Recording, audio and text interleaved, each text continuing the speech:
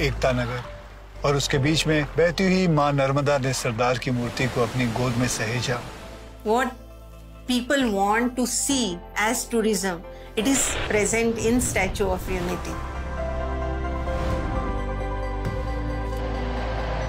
मुझे आकर्षण पैदा करके अटकना नहीं था मुझे वहाँ से प्रेरणा पैदा करनी थी स्टैच्यू ऑफ़ यूनिटी एकता का प्रतीक ऑन हिस्ट्री टीवी 18.